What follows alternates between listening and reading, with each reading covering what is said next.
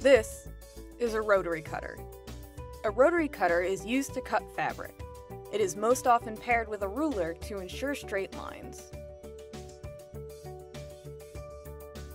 The rotary cutter was introduced by Olfa founder Yoshio Okada in 1979 for the retail garment industry, and the design hasn't changed much over the years.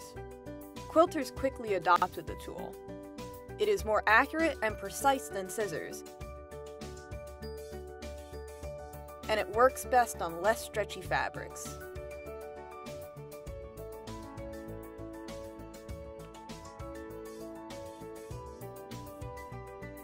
This basic model can be used right or left-handed.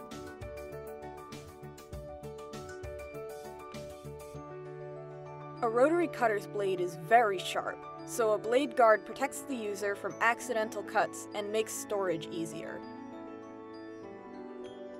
This plastic guard can be moved from one position to another by simply pressing and sliding the safety catch.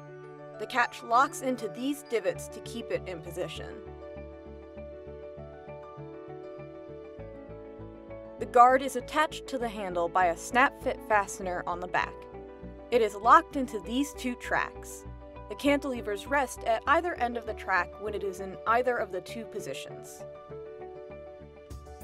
The blade is held to the face of the blade guard between a screw and a nut. The tension keeps the blade in place. The washer under the nut keeps it from being too tight, allowing the blade to turn.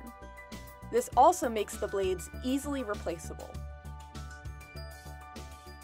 Eventually, a blade will become dull and require replacement. You can tell it is dull when it does not cut all the way through the fabric properly. Most blades will dull in one spot first, so the cut will have intermittent sections of uncut or partially cut fabric.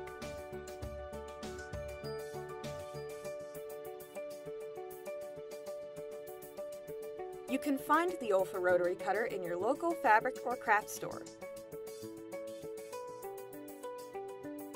For a wider variety of blade sizes, handle shapes, replacement parts, and related specialty tools, visit olfaproducts.com.